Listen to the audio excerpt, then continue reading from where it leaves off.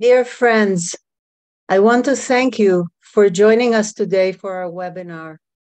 The war is now in its 19th day, and Israeli society and the Jewish people are mobilized in the best way uh, that we that that that in all the war efforts um, and to we're hoping to get through this terrible period as best we can.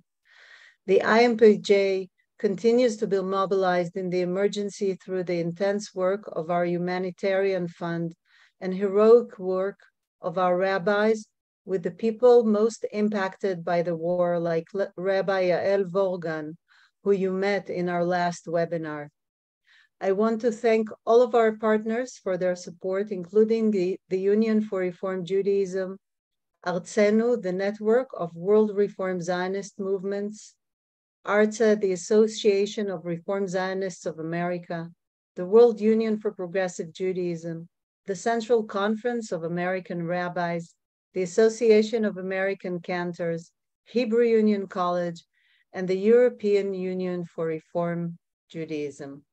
I truly apologize if I forgot one of our dear partners. The focus of tonight's webinar will be the stories of members of our movement who have family members held hostage by the Hamas terrorists. Additionally, you will hear impressions of a number of our leaders, both from Israel and the world. I'd like to now invite Rabbi Sergio Bergman, president of the World Union for Progressive Judaism, to give his thoughts. Thank you, Anna all of us around the world, we are an extended family, and we mourn those for those what murdered before they were shot in our state, in our land, in Israel. We pray for the immediate release of the hostages. We offer praise for the refuah shlema, for the thousand injuries in body and soul. We pray God will protect the brave man and women of the IDF defend both the land and people of Israel. Israel is in war, and you need to know that we stand beside all of you, no matter what. We are here like this extended family worldwide with our young leaders, Tamar Netzer and me, working to stand by Israel and to make the distinction between the government of Israel and the state of Israel. In any place, in any condition, we stand by Israel because our reform movement includes the mitzvah to be Zionist, and we are facing anti-Semitism with a new phase of anti-Zionism. We work with all of Israeli abroad, and they are part of our communities worldwide and part of our family. Our partnership with the IMPJ, the communities, and the Israelis that are giving us a civic society, the role model, what it means for us, the Kumnan, how really believe that Israel is an extended community that pursue the translation of the Torah in action. We are working close with all of you, bringing everything that we can to share with all of you this difficult time. We are one, we are a family, we are in pain, but also we are a resilient people. This is our strength in our identity to become resilient. And the more important thing, we never, never give up because we keep our hope for a better future and a strong, sovereign, and healthy state of Israel.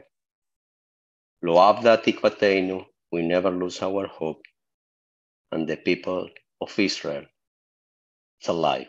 Am Israel Chai. Thank you, Rabbi Bergman. I want to invite Lee Siegel, our good friend, who serves as treasurer of Congregation Birkat Shalom at the Gezer municipality, to tell us about his brother Keith and his sister in law, Adrienne. Hello, good evening, good afternoon, whatever your time zone is.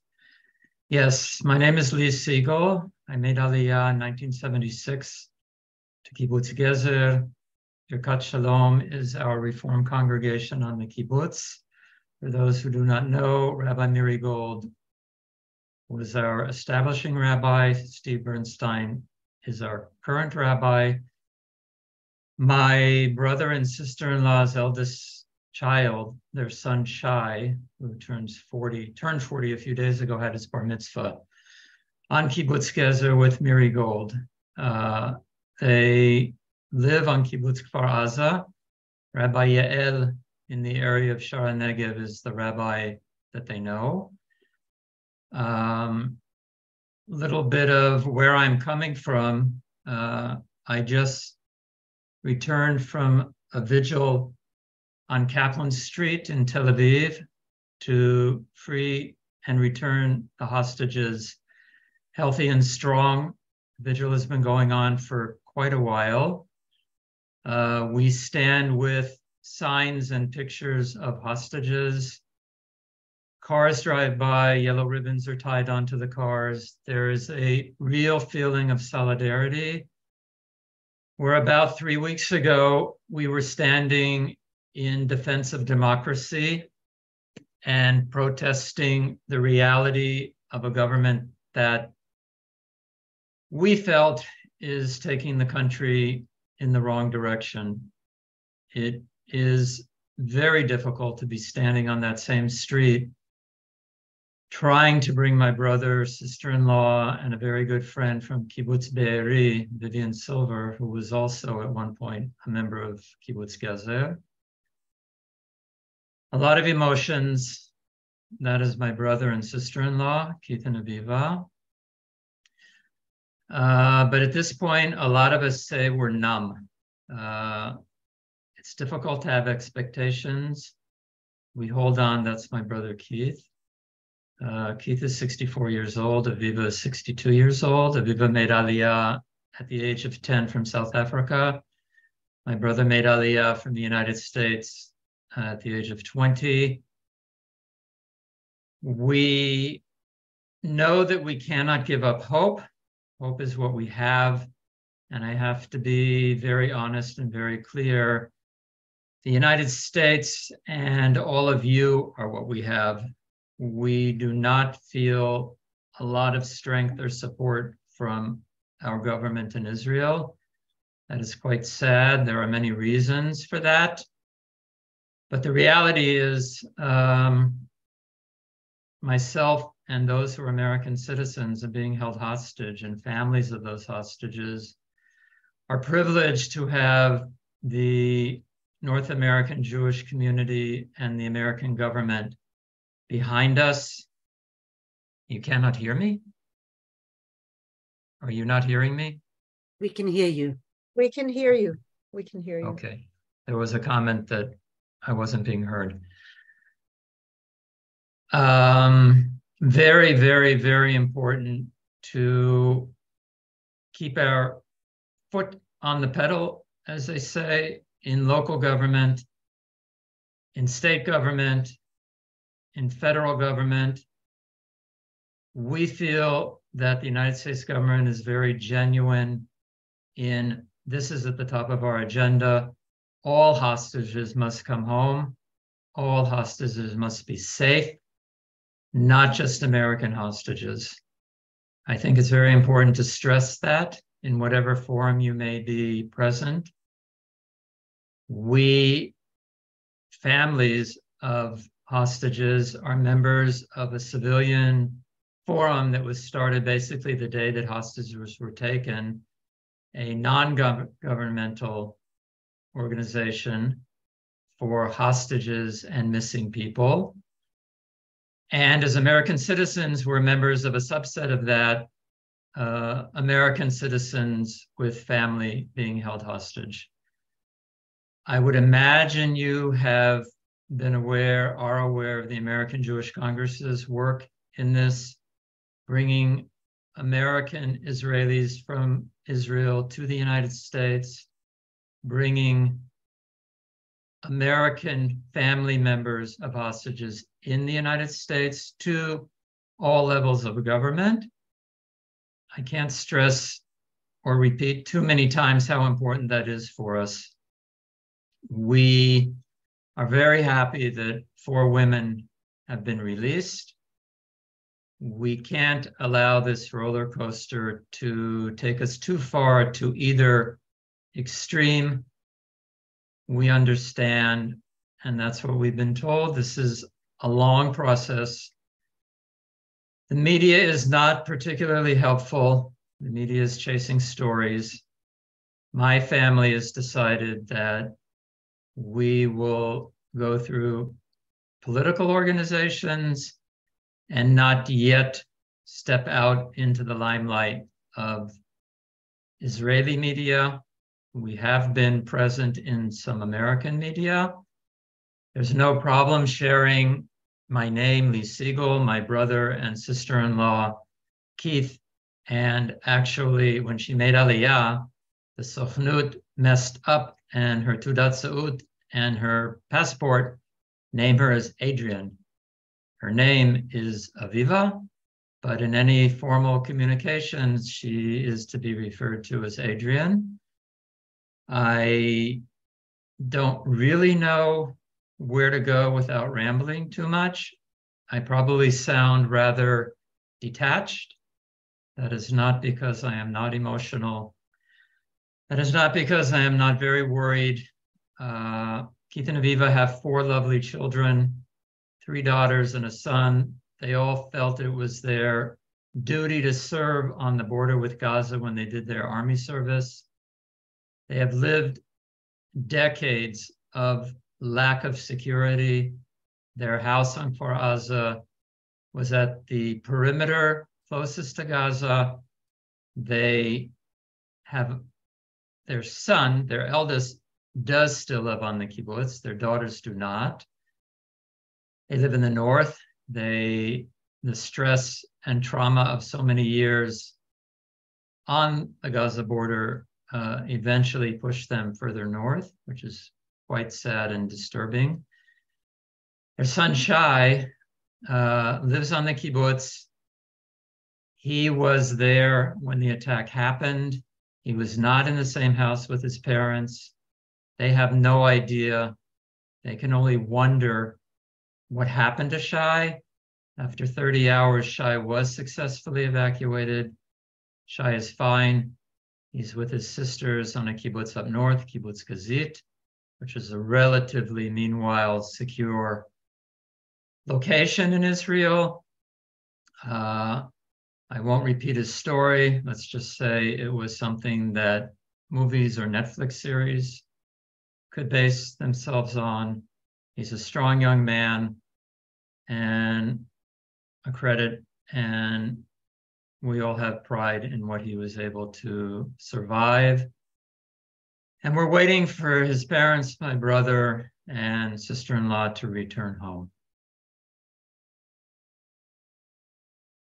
If, um, sorry, I was so moved by uh, by a story, and uh, and so Lee, thank you Toda Rabba. Thank you for giving us uh, the privilege of of hearing you, of hearing about your brother, and about your sister-in-law, and uh, and we share in your concern. We're also concerned. Toda One thing I forgot to say, we do have confirmation, as best confirmation can be had, that they were taken early within Shabbat, and they did cross the border, and the army considers them to be held hostage. That is their situation. Yeah. Thank you. Thank you to everyone. Yeah. I'm sure it was difficult to to to share the story and but but it's mostly difficult for for them right now. Toda rabba. Toda. I I would like to invite Anna Astomker, who serves as Director General of Kehilat Kol Neshama, and her cousin Sasha Ariev, who will tell us about Sasha's sister, Karina. Hello, Anna. Hi. Shalom. Hi, everyone. Shalom. Uh, thank you for the opportunity to speak here. Um, so my name is Anna, and I'm the CEO of uh, Kehilat Neshama community uh, in Jerusalem. Um, my cousin Karina uh, was kidnapped by Hamas, and uh, her sister Sasha is sitting uh, next to me. Uh, so I will let her to tell about uh, her kidnapping. Hi, can Hello, you hear Sasha. me? Hi. hear you. So I can also see the, the picture of my sister that is being showed to you, and I'm really touched. So I will introduce myself. My name is Sasha. I'm 24 years old. Uh, I was born and raised in Jerusalem, and um, my sister also was born here. We have a five-year gap. My sister is 19 years old. And she was kidnapped from Nahal Oz outpost in the south parts of uh, Israel on the 7th of October. And I want to tell you a little bit about the story of the kidnapping, as far as I know. Uh, it was uh, in the morning, 6.30 a.m., that my sister called me and said that she's being bombed. The, the place where she at is being bombed and that she and other girls as, are in a bomb shelter. And uh, first, uh, we all thought it is just going to be bombing and missiles firing. But uh, very soon we understood that there is something big happening. And my sister told me at 7, at 7 a.m., when she called the second time, that uh, the bomb shelter is being raided by terrorists.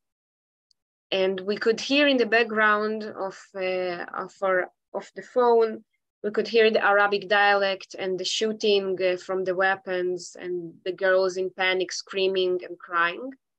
And this was the last, uh, the last contact with my sister. While we were talking and maybe messaging a little bit on our WhatsApp family group, she wrote to me that if she won't make it alive, she want me to be happy in my life and to take care of our parents, our uh, mother and father and not to sink in sorrow. And uh, I have this message uh, till now, of course, but I cannot open it uh, in our chat. It's it's too tough for me. And at the same day, the evening, we saw a video on a Telegram channel, and we recognized my sister in this video. She was uh, injured. She was uh, taken uh, hostage. She, she had blood on her face, and she was screaming in some kind of vehicle or jeep of the terrorists. And this was the last confirmation that she is alive. It was on the 7th of October evening. Since then, we only got a confirmation from the IDF and the government that my sister is being held hostage uh, in Gaza by Hamas or by the Islamic Jihad. Uh, they do not know for sure.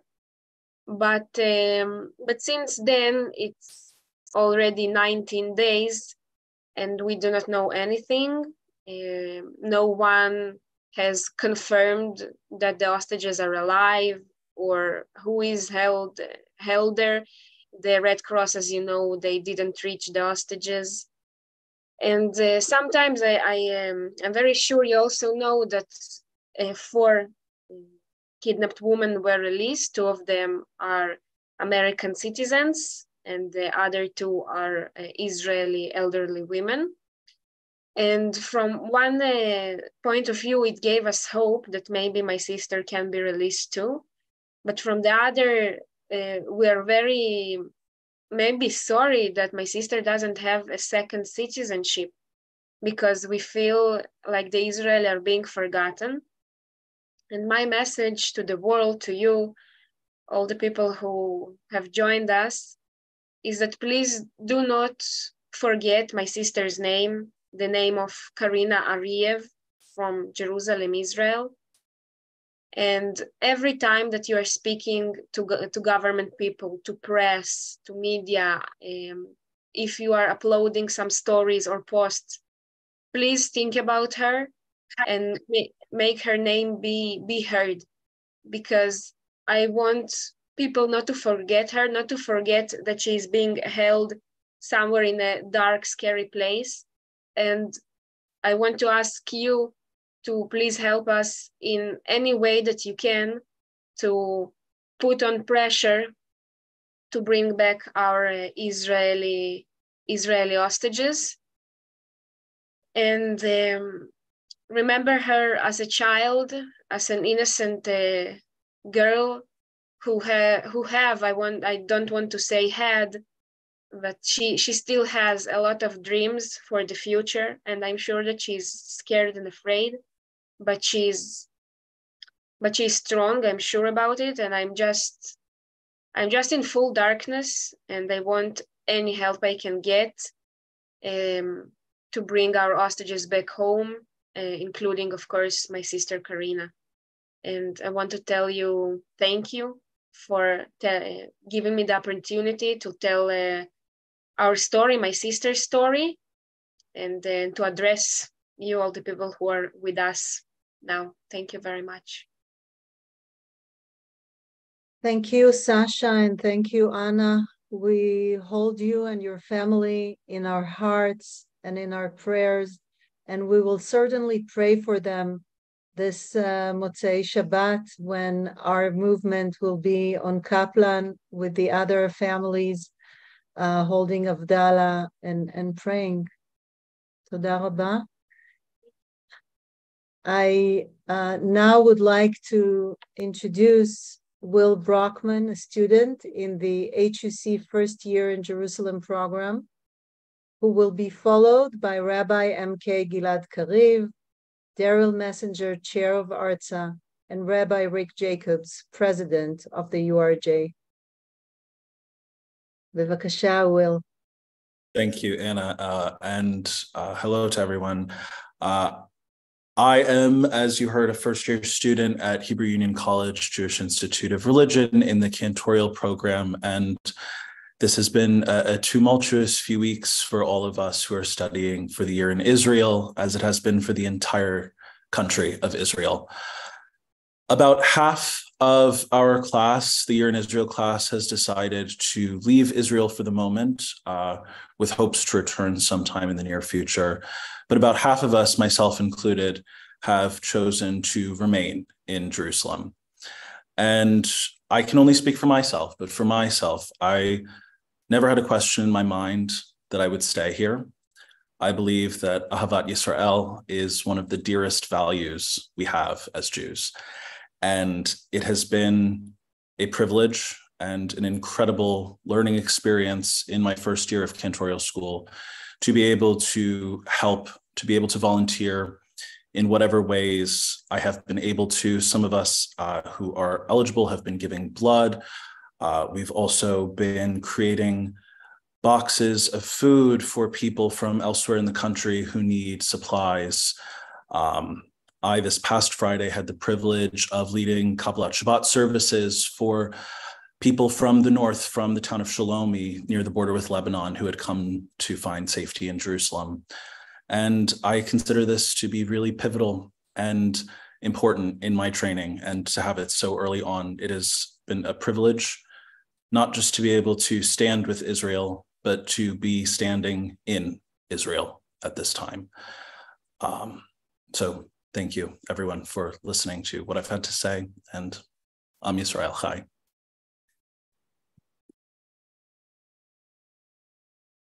Shalom, חברים. Good evening, good afternoon. Um, first, uh, let me thank you all for joining this uh, important and moving uh, uh webinar. It's a real testimony, testimony for your uh, uh, love and your commitment to this uh, value of Klal, uh, of Klal Israel. I just uh, returned from uh, Kibbutz Shefayim, a kibbutz that is hosting 120 families from Kibbutz Kfar Aza. I went there to pay my condolences to the grieving families. Some of them are sitting Shiva while they are uh, caught in this unbelievable situation of uh, having uh, uh close relatives, members of their uh, family in the hands of uh, in the hands of Hamas. My uh, prayers and thoughts are with Lee, with Anna, with Sasha. Thank you, Will, for your uh, important and brave decision to stay with us. It's a again, it's a testimony to your uh, uh, leadership, uh, your religious and communal leadership, and thank you for that.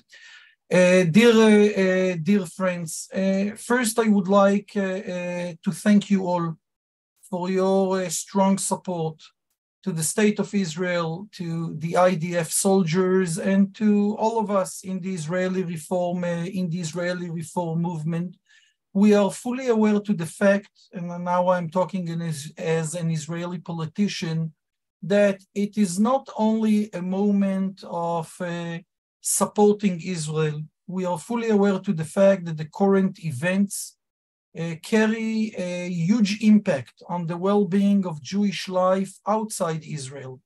And that uh, as communal leaders, you are called also to address the rise of anti-Semitism and many, many um, domestic and global challenges that are being strengthened by, uh, by the current events in, uh, in Israel.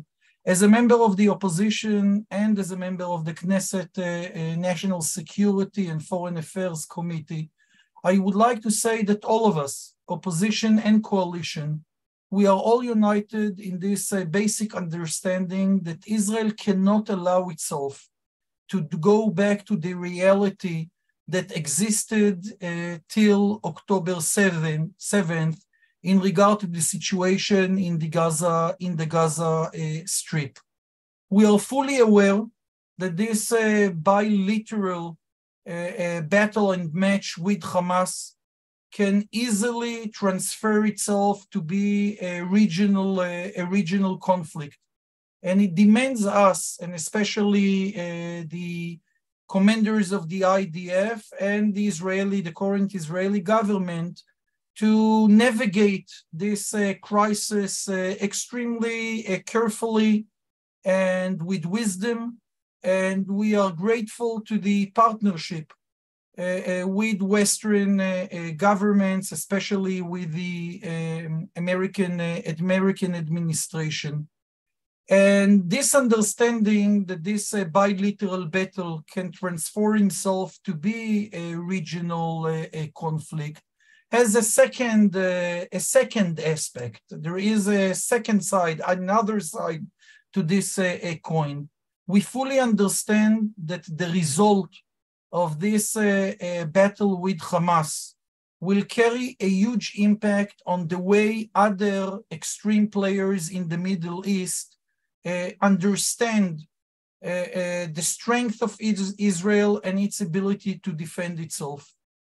And this understanding that Israel must change the reality in the Gaza Strip and make sure that Hamas cannot uh, design the reality in this uh, uh, crowded uh, piece of land is deeply connected to the regional threats that are coming from Hezbollah and for many, many other, other extreme players that are led by, by Iran. I can fully assure you that the IDF is sensitive to the uh, laws of war, to the international laws of war, and to the uh, laws of, uh, of, um, of human treatment towards our, uh, our enemies. Uh, uh, this is definitely something which is on the table of the decision makers in Israel. And I'm telling that uh, because I know it as a, as a fact our tradition teaches us that uh, we are not only allowed, we are called to think also about the uh, suffer of our uh, enemies. We are not ignoring it. But again, Israel has a sacred com uh, commitment to uh, defend its citizens. And when we are talking about uh, returning the hostages back to their families, we know it is a combination of uh, international political efforts, but also uh, it's the result or the future result of the military pressure that will be uh, uh pressed on the uh, on the Hamas. The last comment I want to make has to do with our uh, vision in regard to the best way to solve the Israeli-Palestinian conflict. I assume the vast majority of us believe that in the end, we need to find a political solution to this uh, uh, terrible, uh, terrible conflict. And here again, we need to say that if we believe a political solution must be found to this uh, conflict, we cannot allow the extreme forces to determine the future of this re uh, region. And if Hamas prevails in the eyes of the Palestinians and in the eyes of some of our neighbors, it will mean that in the near future there will be no pragmatic partners to renew uh, to renew the political process to solve the conflict. And as a strong believer of the two-state solution, I strongly believe that Israel needs to change the reality in the Gaza Strip with all the necessary sensitivities in order to enable a new political process between us and the Palestinians to, to emerge. So together with all of us, I pray for the return of all the hostages uh, back. I'm uh, paying my condolences to the families of more than 1,500 Israelis that lost their life uh, in this uh, uh, terrible, terrible war. And I want again to thank you all for your long-standing leadership and support for the state of Israel. Thank you.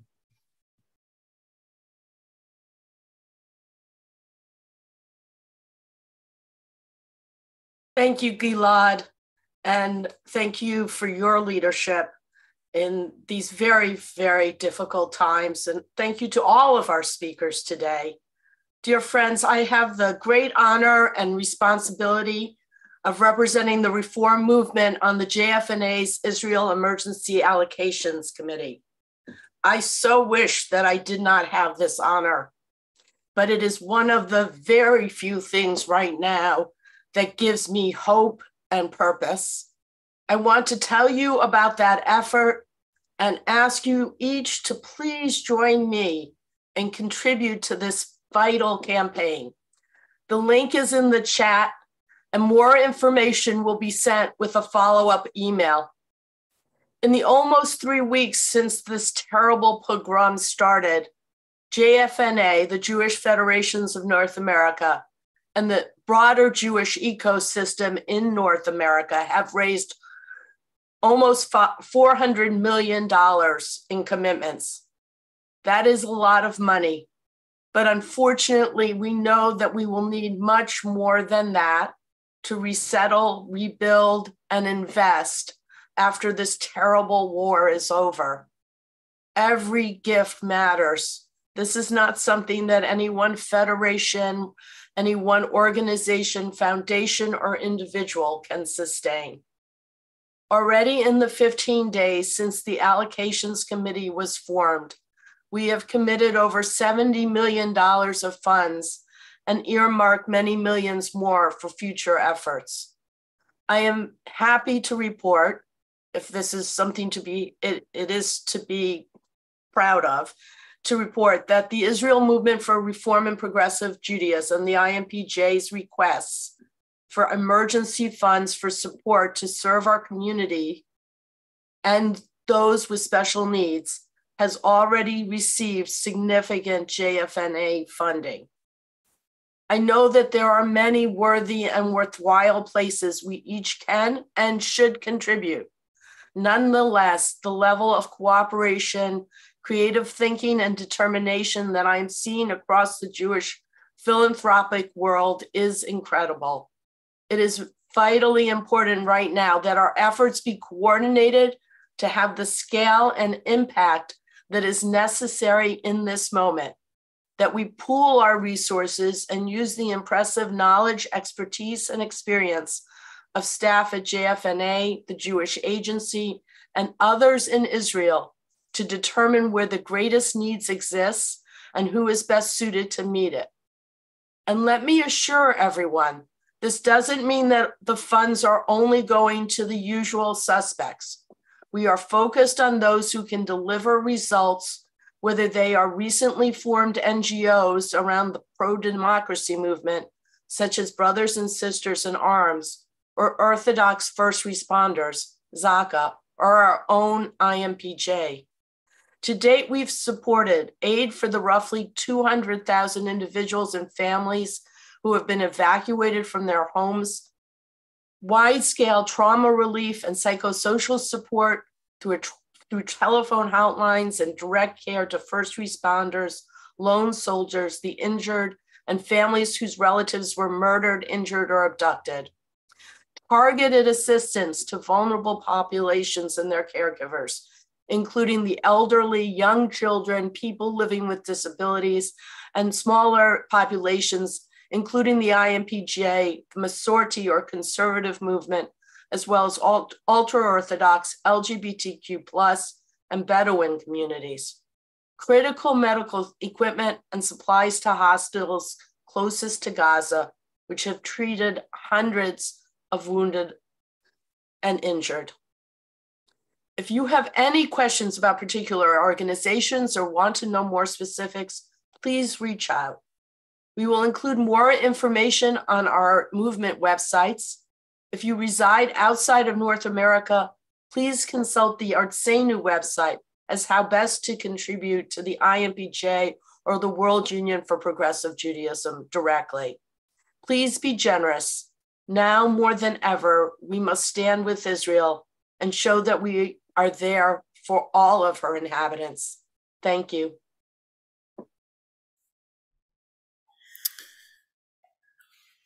Thank you, Daryl, for not just that uh, very succinct and compelling report, but for your leadership in advocating not only for our institutions, but our values in the allocations from the JFNA funds. Friends, I am speaking to you from Jerusalem where I've been for the last few days. And there's a simple uh, feeling of not only solidarity, but the weight of this moment is felt wherever you go with whomever you speak with. Um, I had the privilege yesterday of sitting for a few minutes with Israel's president, uh, Isaac Herzog, who is a close and dear friend of the reform movement, not only in Israel, but also uh, in North America and around the world. And it was important to him. He had yet another busy day. We had heads of state here, including uh, President Macron from France. But he knew how important our movement is to not just this moment, but the long term strength of the Israel uh, US and Canada relationship. So I sat with uh, President Herzog, and the first thing I wanted to say to him is on behalf of the reform movement, President Herzog, we are with you. We stand with the state of Israel shoulder to shoulder. This is a moment when we are feeling the pain and the loss, and frankly, the vulnerability. And I wanted him to know that the strength of this reform movement is solidly and very, very deeply connected, not only to um, the state, but the people and uh, all the different uh, areas where we need to be working very, very intensely. Uh, this morning, another Shiva. This Shiva was for the family of Ofer Libstein, who many of you know was the mayor of uh, only Negev, but really a force in the communities around the Gaza Strip. He was a just inspirational individual who not only dreamt, but he had a plan to build more economic interdependence between the communities along the Gaza border in Israel and across the border in Gaza. He was one of the most idealistic and most committed people, and he fell on the first day on the, the remarkably horrific day that we will remember for centuries to come, October 7th. Um, we hoped against hope that his son Nitzan would be, imagine this, we were hoping that he would be found to be a hostage. But it turns out 14 days after his father was, was murdered, uh, Ofer's son Nitzan was uh, was found and was also killed. So we paid a Shiva call today to Ofer's widow and Nitzan's mother, Vered, and met with the family. And it turns out that Vered's mother also uh, died in recent days. So this is a family that's been sitting Shiva and Shiva and Shiva. Friends, this is the moment. Uh, you walk into Shefayim, where um, MK Rabbi Gilad Kariv was today. I was I was there as well. And there are lists of all the different places and all the different families that are sitting Shiva. And these are families that all know one another. So, so they're going, frankly, from uh, mourning tent to mourning tent to feel the strength of this community. This is just not something any of us have ever experienced. What I want to say uh, really clearly is our rabbis and our reform movement leaders here in Israel are inspirational. Obviously, you were welcomed by Anna Kislansky, who's the CEO of the Israel Movement for Progressive Reform Judaism. Incredible leader. Yair Lootsteen, the chair of the IMPJ board, also so busy doing all of the very, very important things, sometimes very mundane things, but serving this community. And of course, Orly Erez Lichovsky. And I wanted to say a word about our rabbis. Uh, at Kfar Aza, where so many of our very deep connections were felt, there have already been 60 funerals. One out of 10 people on the kibbutz are gone. The weight that our rabbis are carrying, and Rabbi Yael Vurgan, just uh, all day today with her, the way that she cares for her community in Shaar Ha Negev, and they're spread out. There's some of them are in Tel Aviv, some are in the north in uh, some are in Nachal in Nachal Oz, which is one of the surrounding communities of Kfar Aza, Nachal Oz. There at Mishmar HaEmek in the north. So she goes from community to community to be with her people. She goes from mourning tent to mourning tent to sit with those uh, in Shiva. Uh, these are rabbis who are carrying the weight of the world. And as a rabbi myself who served a community during a 9 11, the weight of the mourning and the sadness is extraordinary. And these rabbis are doing heroic, heroic work. I just want to say a, a couple of sentences.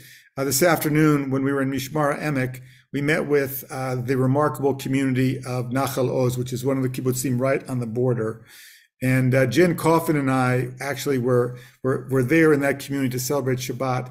And many of you, we, you heard on our last webinar, Amir Tibon tell the unreal story of the rescue that his father, uh, General Noam Tibon, was able to effect for, for Amir's family and his wife, Miri, and their two kids. Well, uh, in, in this gathering this afternoon, uh, Amir and Miri were there along with others, and their stories about what they experienced, the hours upon hours that they were sitting in the darkness uh, with young children, uh, hoping against hope that the um, IDF would be able to come rescue them, that somebody would rescue them.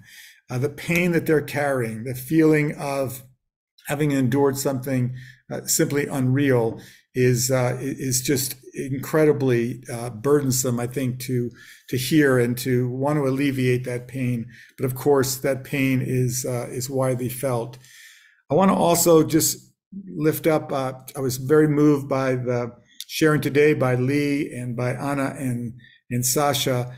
I sat yesterday with with Anna Kislansky and David Bernstein and the whole team with this remarkable institution that's fighting on behalf of the hostages. They are unbelievably organized. They have diplomats, they have fundraisers, they have health professionals, they have people who are expert in social media.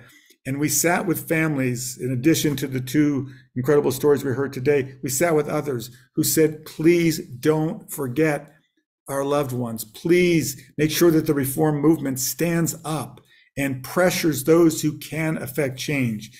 Can I just say, uh, President Joe Biden has been extraordinary. Not only did he show up here and express such love for, for Israel and the Israeli people, he also prioritized bringing the hostages home. He said that was at the top of his to do list in thinking about this moment. So the families have been asking us very loudly for us to prioritize. So one of the things that you'll hear uh, tomorrow in particular is that we are doing a number of campaigns to bring more activism and awareness to the plight of these hostages.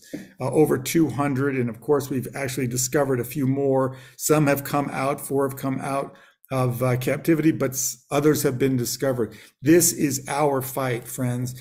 And as you heard, it's not only for those who have a, a dual citizenship, Israel and uh, US or maybe France and Israel. This is for all the hostages. They are all our family members. And I know that uh, some of us will see tomorrow the, the campaign is going to wear a blue ribbon. Again, blue, our color of Israel, to show that this is something that we would want our neighbors and our, our colleagues at work to ask us about, and we could tell them. We also want to make sure that our elected officials know that we care deeply about this and to thank them if they've been uh, outspoken and uh, active on this. But we can't do enough. And also with our interfaith partners to ask those local faith leaders to stand with us and to help bring the hostages home. Uh, I want to also say I had a chance to uh, sit with uh, Ariel Fogelman, who leads all of our Israel summer activities. Uh, last summer, he oversaw bringing 700 uh, North Americans to Israel for the summer. Ariel is in reserve duty. His unit is one of education. So he's been on the border of Gaza. He's been on the north of border of Lebanon. He's been in the Golan Heights. His work is to help prepare soldiers, not on all the military aspects, but all of the things to give them a sense of cohesion. But he also, in his in his presentations, talks about Ruach HaTzahal, which is the IDF's ethics code. And one of the things he does for reserve soldiers is to remind them that in the conduct of war, the state of Israel uh, adheres to the highest ethical standards, and to remind them in the course of whatever awaits them in their service to this country and our people and our values, that that ethics code is uh, something that we uphold. Uh, I want to also just conclude by saying um, this is a moment, friends, that uh, we can't run out of our energy. Our, our people need us. Uh, the Jewish state needs us. And what's amazing is that we were debating in all of our thoughtful differences about policy, some of them very profound. In this moment, we stand with those who are more conservative, more liberal, more orthodox, more secular. It doesn't matter. We stand together. And that's the expression we brought to other politicians who said, What's the reform movement doing? And the answer is a lot. And I hope with all of your activism, we can even do more. That's our work. So I conclude with a tiny bit of Torah from this week's Torah portion. Obviously, the setting forth for Abraham and Sarah on their Jewish journey, the first two Jewish people set out on a journey. And early on that journey, they get caught up in a, in a battle between these kings. And all of a sudden, Abraham's nephew Lot is taken hostage. What does Abraham do? He doesn't only pray, he doesn't only hope that Lot is released, he gathers up a group of, uh, of people to come with him, and they go and find and, and bring Lot back. That's what we do. The Torah teaches us, our hearts teach us, and this moment demands of us. So I hope that you'll continue to contribute to uh, the JFNA's emergency fund so we can really bring more resources to our movement and to the things we care about, our values. I hope that you'll do your activism on behalf of the hostages. I hope, I'm just going to say this, this is a moment we're going to see. Um, we just heard that there's going to be an additional delay in whatever ground incursion is going to take place. There's more of a delay. Prime Minister Netanyahu spoke to the nation tonight. The truth is, uh, we're needed in this moment. The last thing I want to say is, um, as as Rabbi Gilad Kariv is always our teacher, always a rabbi, always uh, an upholder of ethics. Uh, we can be 150% supportive of Israel and our people, our soldiers in uniform, and at the same exact moment have human empathy and concern for the innocent, the innocent uh, Palestinians in Gaza who are also, in some ways, are held hostage by Hamas. We're going to be determined to, in every way, weaken Hamas's ability to uh, begin another assault and uh, butcher our, our families. So we're going to continue to do that, but we're not going to ever lose our humanity. I heard that from the people we met with today and yesterday. That is exactly the kind of Jewish complexity that we live every day. We can be bold in our support and human in our experience of others. So let's bring all those elements together. Let's stand strong and let's stand together. Thank you. Thank you, Rabbi Jacobs, and thank you for coming to Israel to be with us. This is really strengthening and very much appreciated. I want to thank you again, everyone, for joining us. We have a very long journey ahead, and we are working hard to bring hope to the people of Israel and the Jewish people for a better future and of continued building of the state of Israel as our Jewish and democratic homeland. We are very grateful for the outpouring of support. Please continue to pressure your elected official and other people with influence regarding the need to free all the hostages. We are grateful for this financial support for our efforts in Israel. Please support your local federation campaigns in North America and other reform movement campaigns in other places. Please join us again this Friday, the day after tomorrow, for our Solidarity Shabbat plan, planned by all the partners of the World Reform Community. We will hear a final song from our cantors and then together end this call with the singing of Hatikva.